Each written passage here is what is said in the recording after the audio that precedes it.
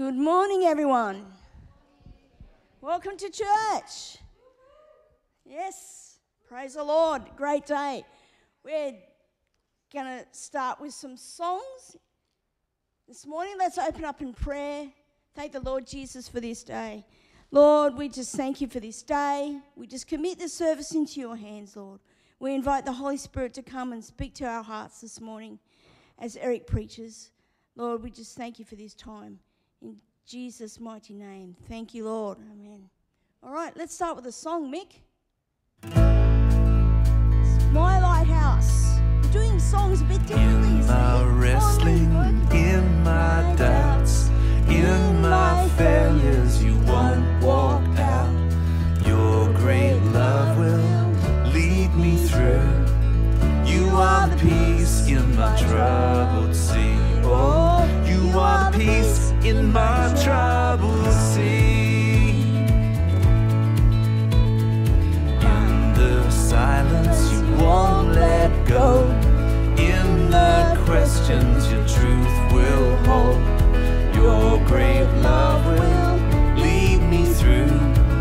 You are the peace in my troubled sea. Oh, you are the peace in my troubled sea. My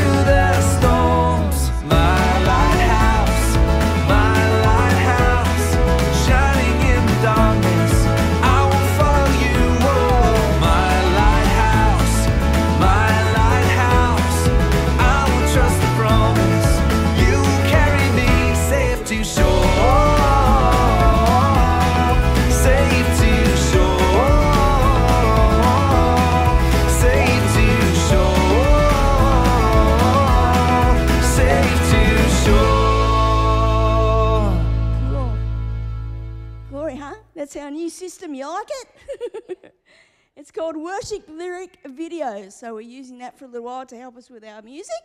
I like it. Uh, we're going to go to the next one, I, I think, which is I Believe.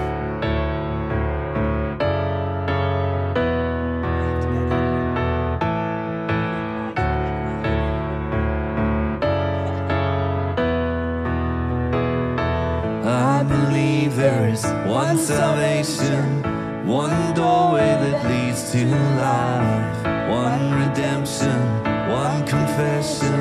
I believe in the name of Jesus Christ.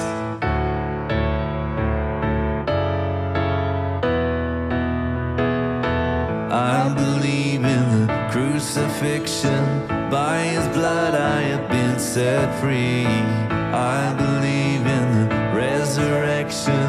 Hallelujah, his life is death's defeat.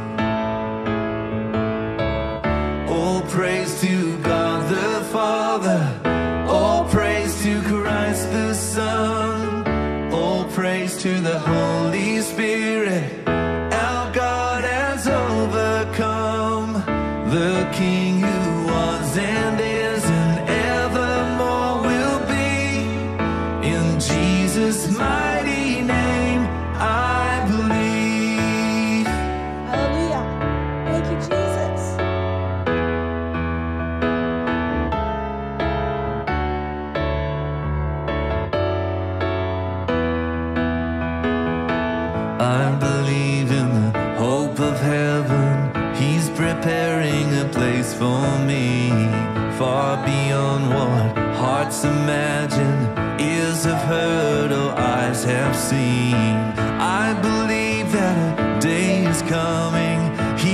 returning to claim his bride. Light the altar, keep it burning.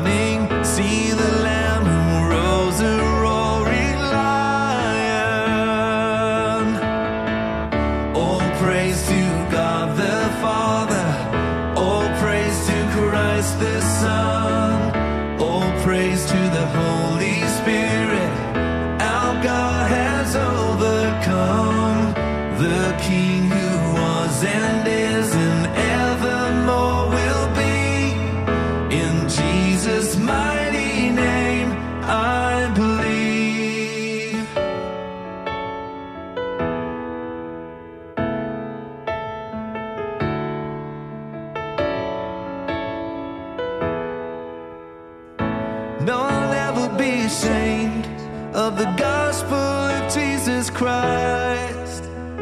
How could I ever walk away from the one who saved my life? No, I'll never be ashamed of the gospel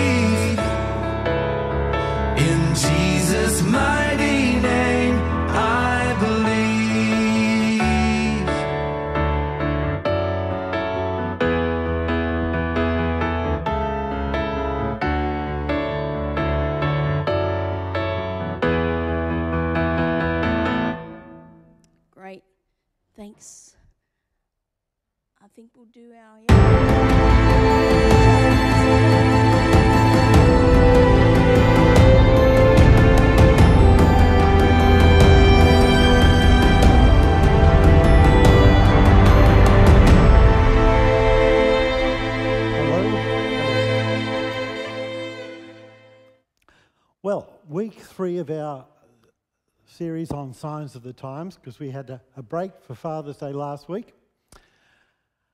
But if you remember, this is looking at what Jesus had to say to the disciples. On, it's called the Olivet Discourse. But they had been in Jerusalem and he'd been talking to the, um, the Pharisees, the Sadducees, he'd been talking to everybody. And on the way out, the disciples said, Oh, aren't, those, aren't the buildings magnificent? Isn't the temple beautiful? And he said, Look, it's going to be wiped away, it's going to be destroyed. So they asked him two questions. They said, When's the temple going to be destroyed? And when's the end of the world? Now, perhaps they were thinking that it would be the same time, but Jesus answered these two questions. And we were looking at the first two uh, sermons about the destruction of Jerusalem. And he was saying very clearly look, these are the clear signs that the temple is going to be destroyed, Jeru- Jerusalem's going to be destroyed, when you see the armies gathering around them, when you see the um, desecration of the temple, then you know it's going to happen straight away. Get out. But there's a bit of confusion sometimes with the end of the world part. Because Jesus talks about this will happen in this generation. But we might think of a generation of those people who are all born at the same time. But that isn't what Jesus was talking about.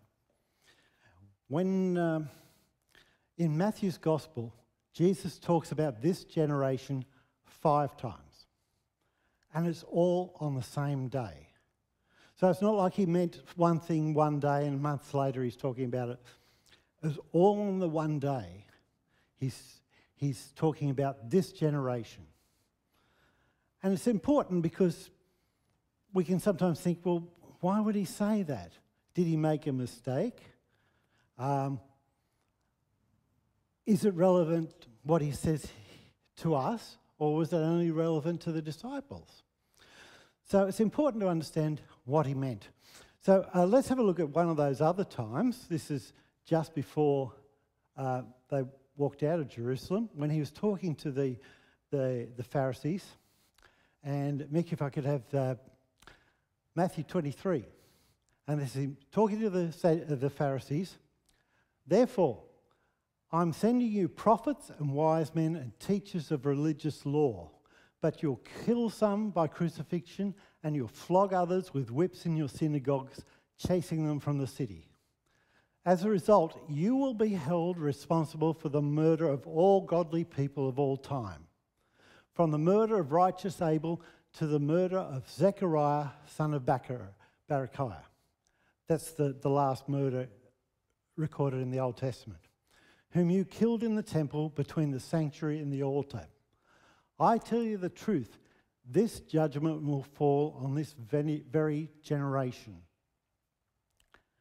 So Jesus is blaming them for the death of someone 800 years ago, the death of another person uh, 3,000 years previous, three or four. He said, Look, you're all the one generation. You're all the one generation. And he calls them, listen, you're snakes. You're sons of vipers. What's he thinking here? Well, let's get back to Genesis. Genesis chapter 3. I will cause hostility between you and the woman. This is Jesus talking to the devil, Satan and between your offspring and her offspring. He will strike your head and you will strike his heel. So while we think of a generation as people all born at the same time, Jesus is thinking we're either God's offspring or we're Satan's offspring. And that all throughout history, people have to be one or the other. So it's not coming at the same time, it's where you come from. Whether you're Satan's offspring, whether you're God's offspring. And from the Garden of Eden right up to the end of time, there will be these two groups. You're either a child of God or you're a child of the devil.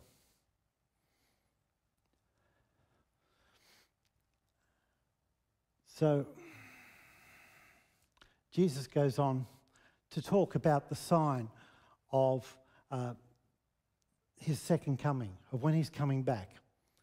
And unlike the bit about Jerusalem, this is a bit vague. He says, There will be a sign in the heavens when I'm coming back. And that's it.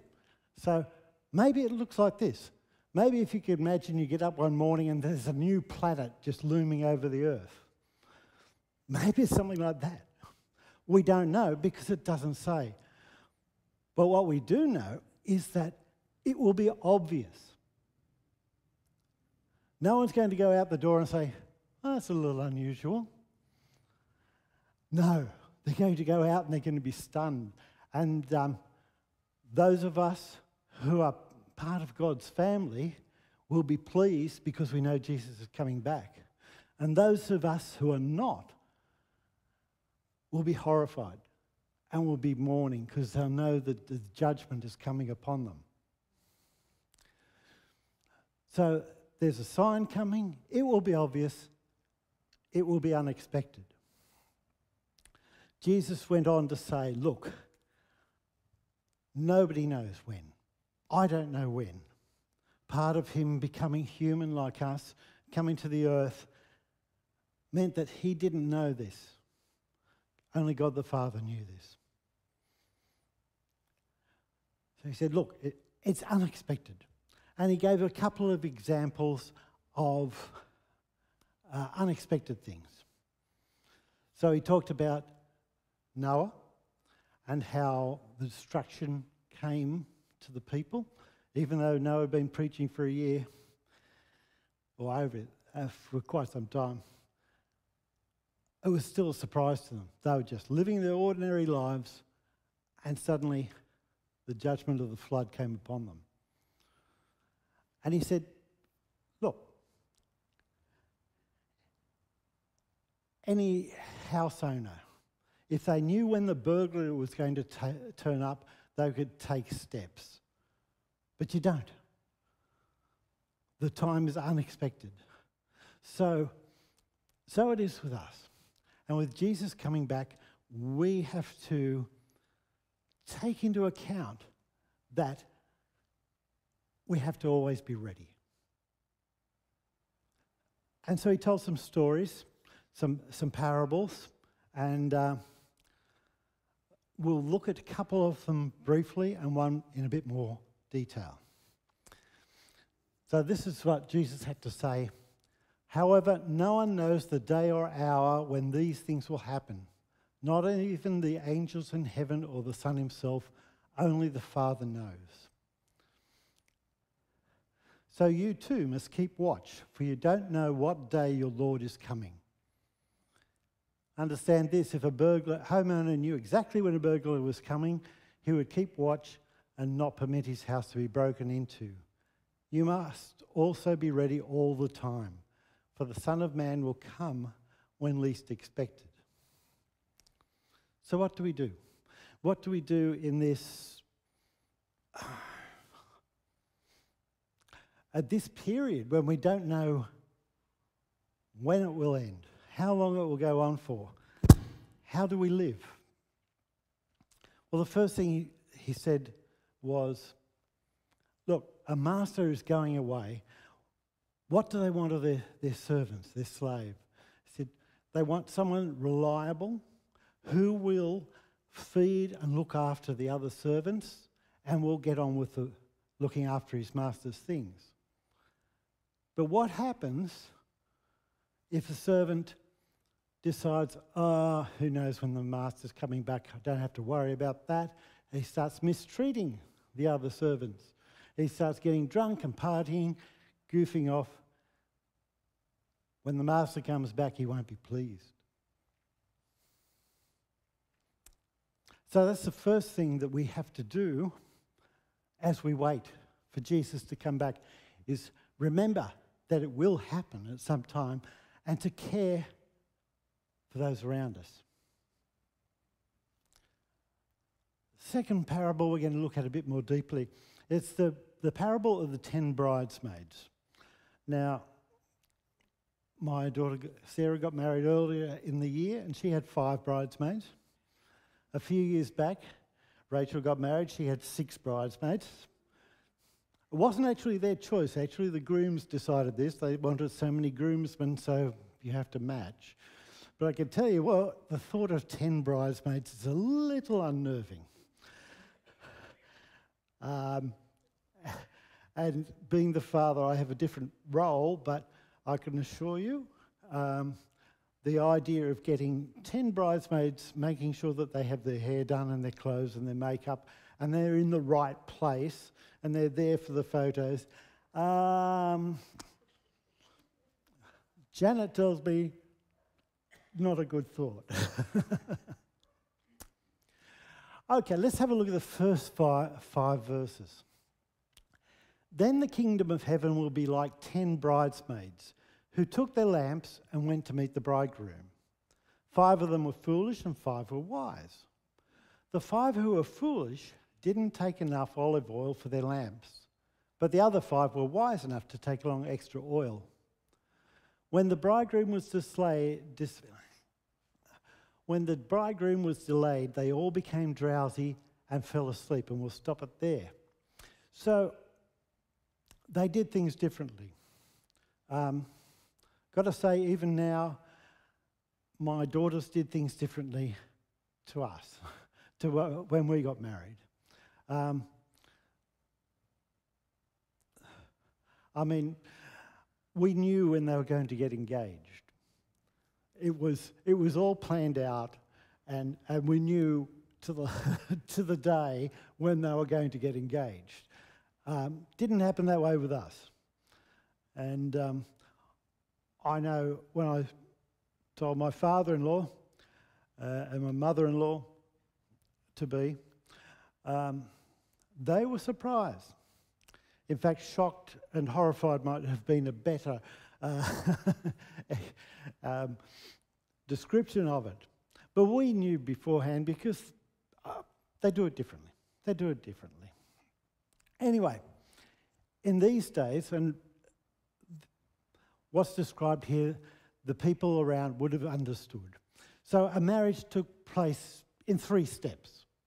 You had the engagement, and the fathers of the bride and groom, sometimes the mother might have been involved, but they would get together and they would arrange okay, yes, yes, that's okay, you got the money, everything's sorted out, and they would say, we approve.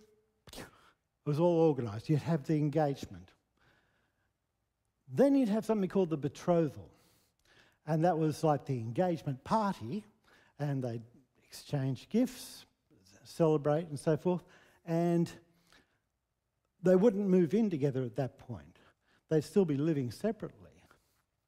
But it was a bit more than our engagement in that if it was broken off for some reason, you'd actually have to go through a divorce. So that's the point where Mary and Joseph were when Mary discovered she was pregnant with Jesus.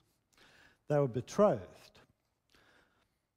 And then about a year later was the actual wedding. And what would happen was the groom would come to the bride's family house with his friends, his groomsmen, and he'd turn up the door and say, Oh, I've come to, come to take your daughter away.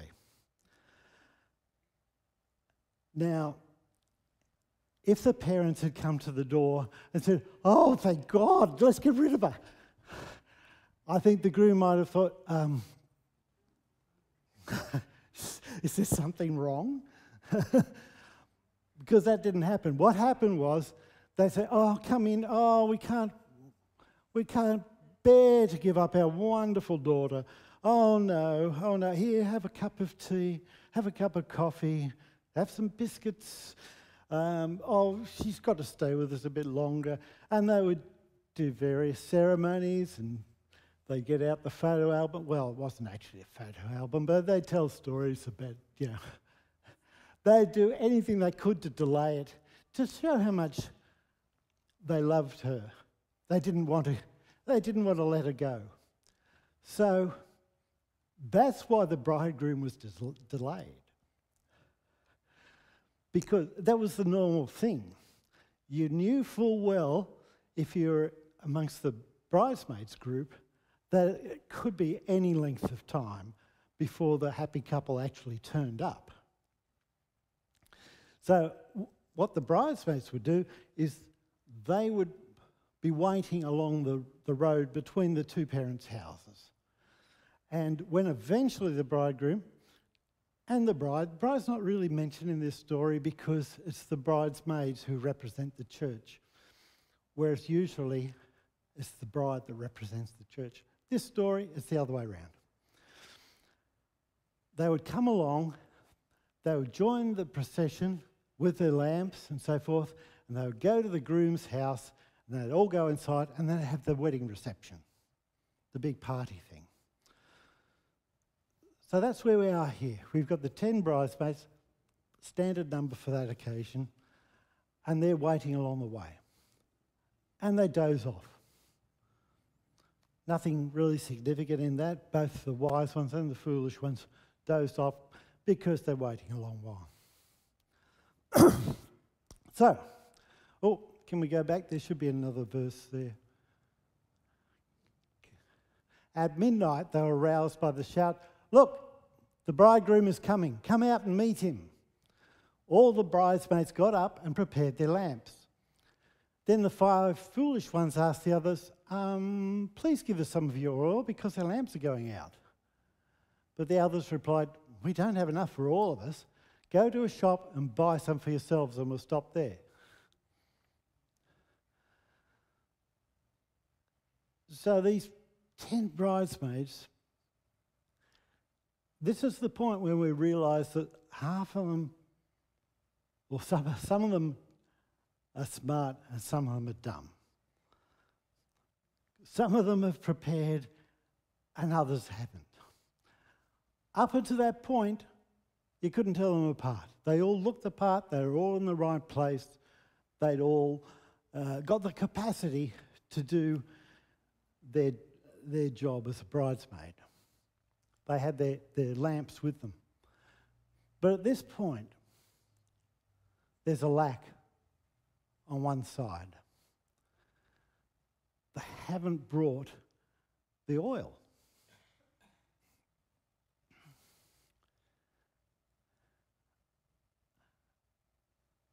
For us as Jesus followers, we have to, we have to look at ourselves and think, are we spiritually prepared for Jesus coming again, for the bridegroom coming?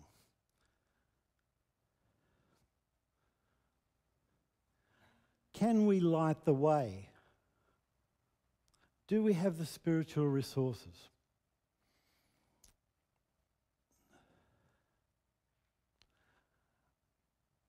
Sometimes, sometimes people appear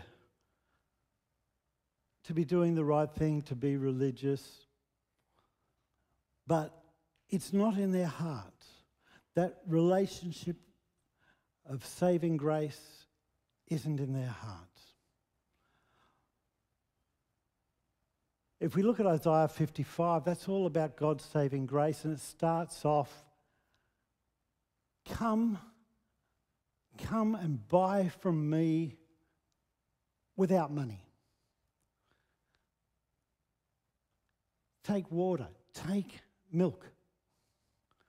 And God's saying, Look, I will provide what you need.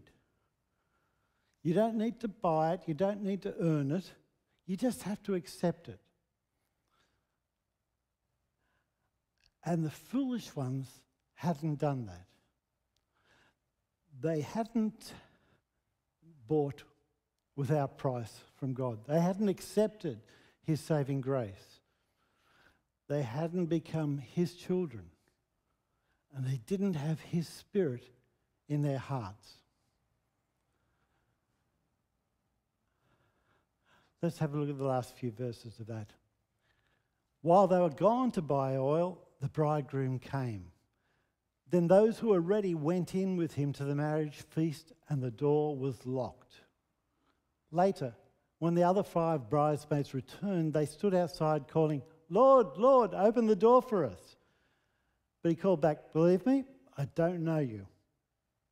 So, we too must keep watch, for you do not know the day or the hour of my return.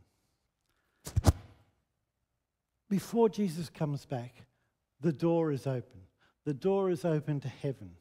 And we can come in to the feast to celebrate with Him in heaven, provided we have taken His saving grace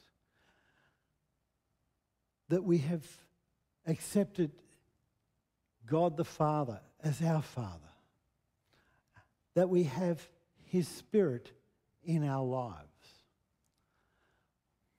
But there will come a time when Jesus returns and the door is shut. The opportunity is not there anymore. And for each of us, it's not only when Jesus comes back, because death can take us at any time. Maybe an accident, maybe a sudden disease, and then it's too late. It's too late to be adopted into God's family. It's too late to be forgiven. It's too late to have His life poured into our hearts. So we must be ready. We must be prepared now. And that's how we live with the spectre of our own mortality, with the promise of Christ's return.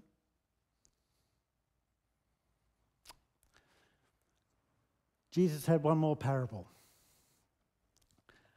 And he said, Look, a man was going away for a long while. So he called his servants together. He had three servants. And he gave one of them five bags of silver.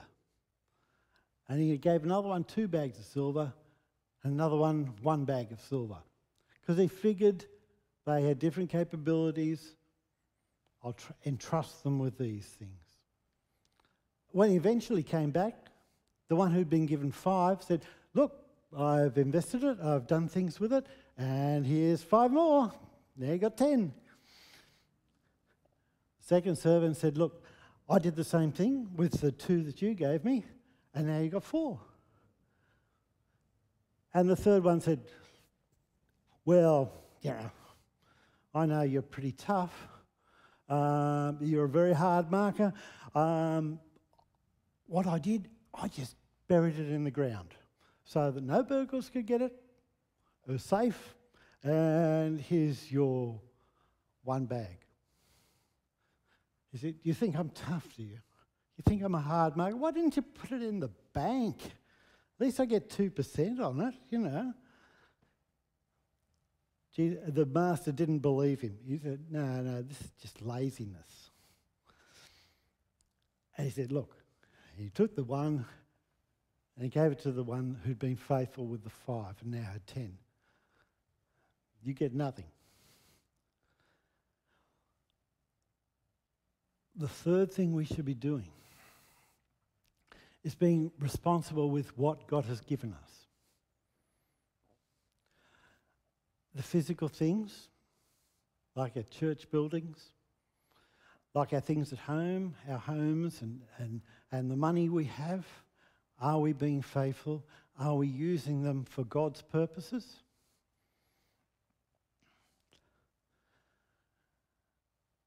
What we know of God's love, are we using that? Are we spreading it to those around us? Are we telling them the gospel and how people can be reconciled with Him? Or are we just saying, okay, I've got it, I've got it. I'll keep it to myself. And that's enough.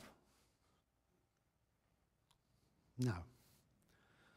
So let's bring up the summary. Jesus is coming at an unexpected time. So, what should we be doing as we wait, as we look forward to his return? We should be caring for each other we should make sure that we are spiritually prepared for Christ's return. And we should be faithful with what has been entrusted to us, both material and spiritual. Amen.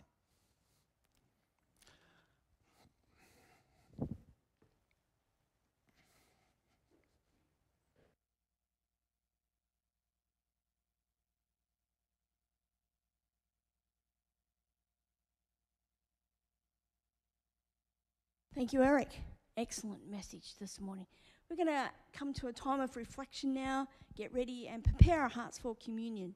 Uh, so we're going to sing a little song. Thanks, Mick.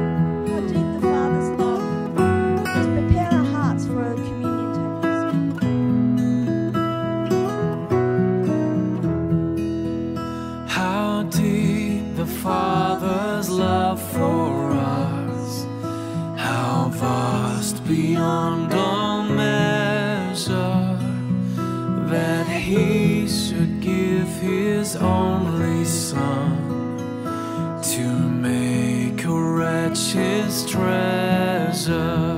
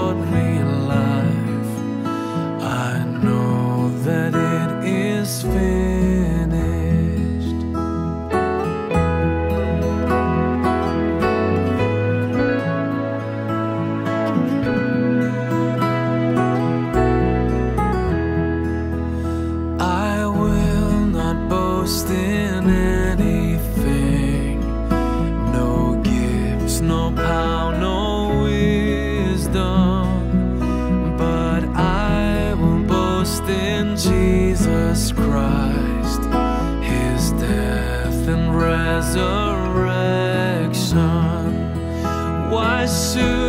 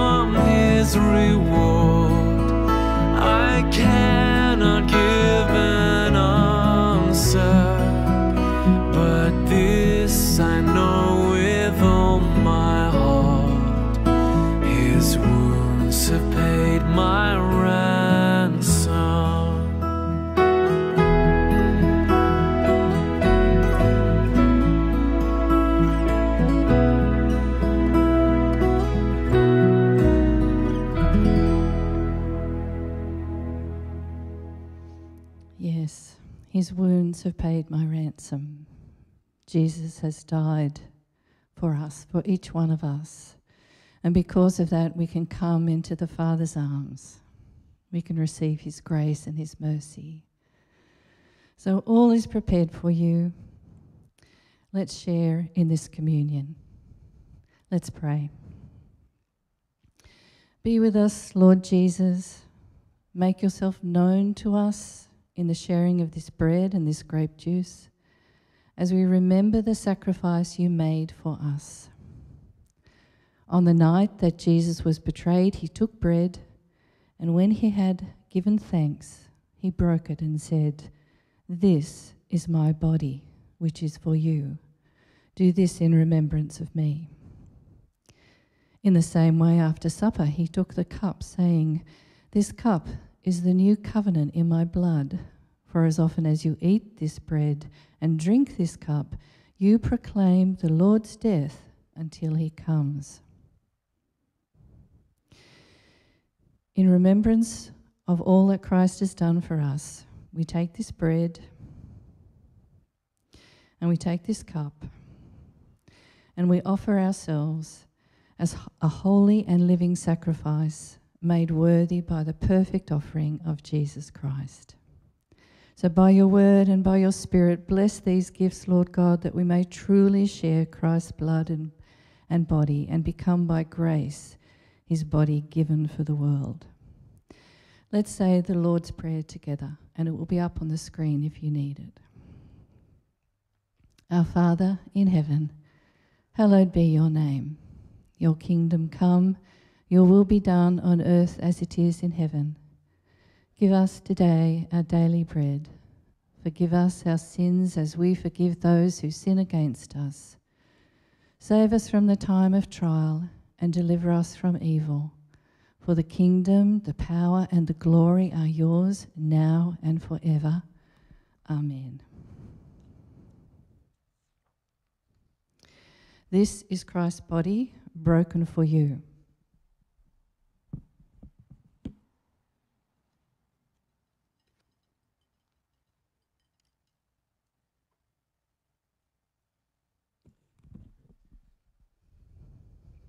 And this is Christ's blood shed for you for the forgiveness of sins. So let's receive these elements. Let's become what Christ wants us to be. And share in this Holy Communion, not because you're strong, but because you are weak and we need the Lord. Share in it not because of any goodness of your own, but because we need the mercy and grace of our Lord God. And share because He loves you and gave Himself for you. So I invite Eric and Joanne if you want to distribute the elements. With the bread, take a piece and eat it to remind yourself that Christ died for you.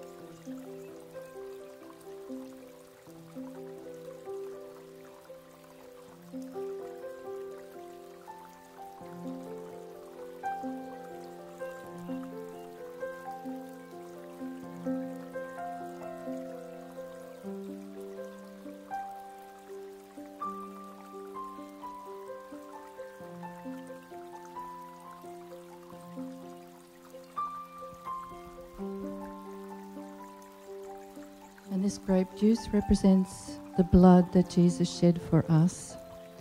When you take it this time, hold it, and we will, we will drink it together to remind ourselves that we are part of the body of Christ.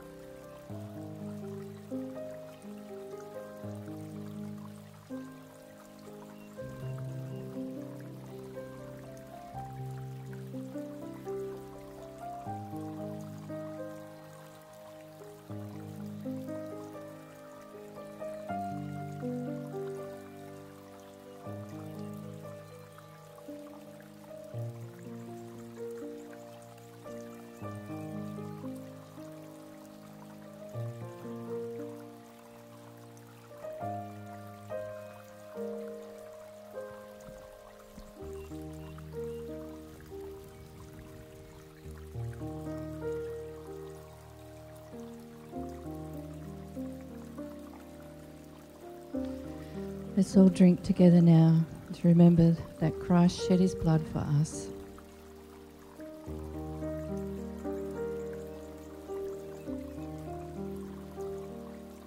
Thank you, Jesus. And we just come before the Lord now in a time of silence, just to let Him allow Him to minister to us.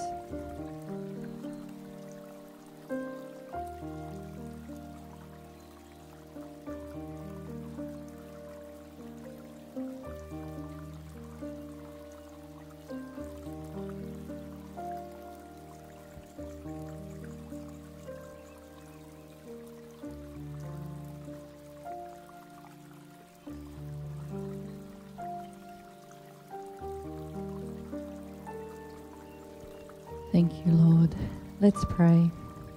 Lord God, you renew us at your table with the bread of life. Let this food strengthen us in our love for your world and help us to serve you with our lives as you served us. Accept our praise and our thanks for all you have done for us. In Jesus' name, Amen.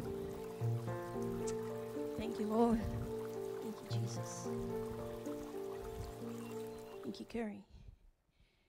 We'll just take this a moment to just thank the Lord for our tithes and offerings. Um, Father God, we lift up uh, the offering, Lord. We thank you right now, Lord Jesus, for the good things you give us, Lord, every day, each and every day. We give them back to you freely, Lord, with love and appreciation knowing that you are a good God all the time. We ask that you will use it for your kingdom, Lord. Be used wisely. Father, we ask all these things in Jesus' name. Amen. Uh, I'm doing the prayers of the people. Have we got any prayers?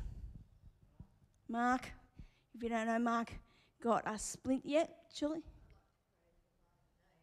Your neighbour. What's your neighbour's name? Terry. Terry. Oh. Okay. Oh, okay. All right. Terry. We can pray for Terry. Yes, Miller. Pamela. Oh, okay.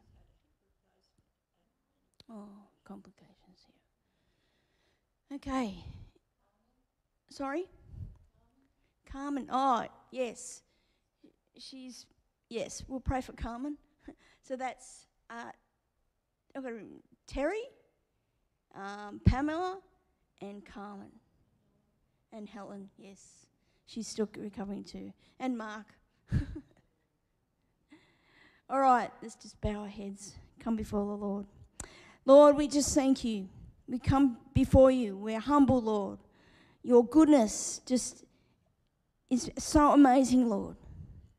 When we don't deserve goodness, Lord, you came and showed us goodness, Lord. You showed us love like we have never seen, Lord, or never will never see, Lord. And Father, we just thank you that we can come to church freely and we can um, worship you freely without conflict, without aggression, without violence, Lord. We just thank you for that, for that privilege of our freedom, Lord, that we have in this country. Lord, may we continue to have freedom, especially when it comes to the Bible, Lord, and preaching the Bible. Lord, direct our leaders, Lord, we pray your hand be upon them and guide them, Holy Spirit. We pray for all those who just call you Lord in this country. Lord, help us to keep rising up and be a voice for good, a, voice for Jesus. We think of uh, around the world, Lord, there's such turmoil, Lord, but we know you are the answer because you are the peace, Lord. We thank you, Lord, for Israel. We thank you for her land, her people. We pray for peace in Jerusalem, Lord. We pray for the, those who love you in Israel that you will uh, keep them safe and uphold them, Lord. We pray for others, Lord, in these war torn areas in the Middle East. Lord, they are seeking answers, Father. You are the answer, Lord. May they have revelation and may their eyes be open, Lord, to receive the light of Jesus, we pray. We just bring these people to you, Lord, from our church. Father, we pray for Terry, Lord. He's recovering. We pray, Father God, for a miracle in his life. We pray, Lord, that he'll get the best medical care and that, Lord, he will reach out to you and that he'll seek you, Lord. And Father, that you will answer. I thank you, Lord. I pray for Pamela too with health issues, Lord. We pray that she also gets the best medical care, Father. And then we pray for a recovery, a miracle working, Lord. And we pray, Lord, that you'll just open her heart to receive the gospel, Lord, to receive Jesus. We pray for Helen, Lord, also ill, recovering. Help her to recover too, Lord. Give her the strength that she needs to recover, Lord. We think of Mark, Lord. We thank you for healing his foot and that uh, he'll be able to walk again soon properly without pain. And we thank you for healing there. We thank you for the um, miracle that you already did, Lord, in that there was no infection, Father, in his blood or in the bone, Lord. It was completely clean. And we give you all the praise and glory for that, Lord. We thank you. Lord, others that we have not spoken here or heard of, of said, Lord, we just say in our heart right now, and I'll give everybody just a moment to pray quietly and to ask your petitions before God.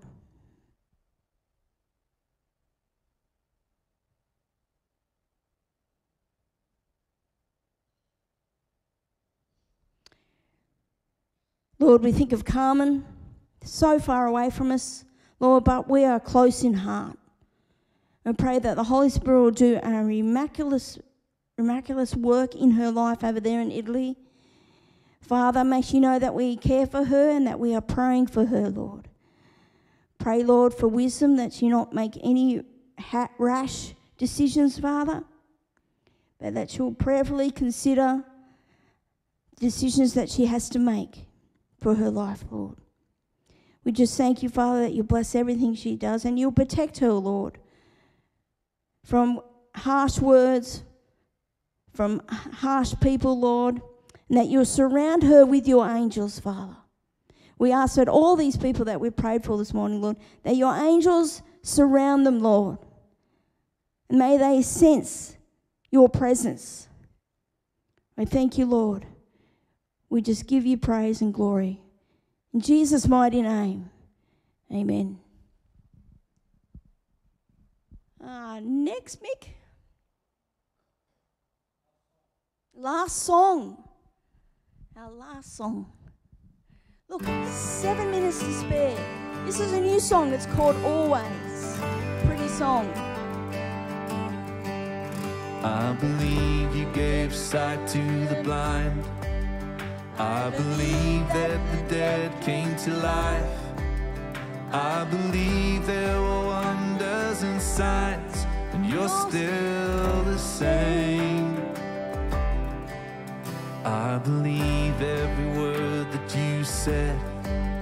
I believe there are scars in your hands.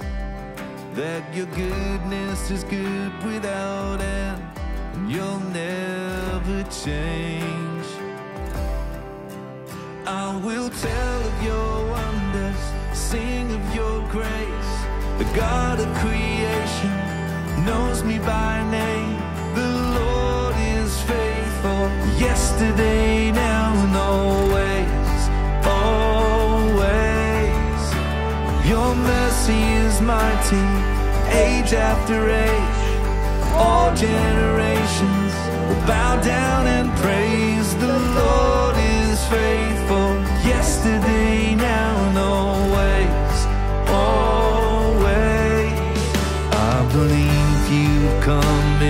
clouds.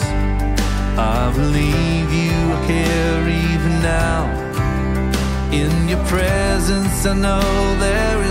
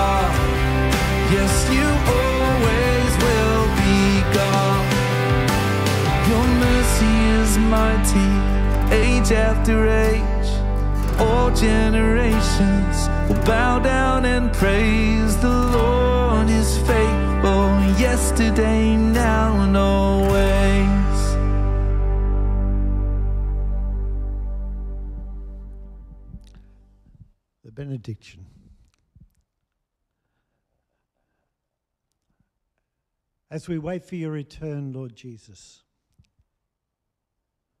we pray this.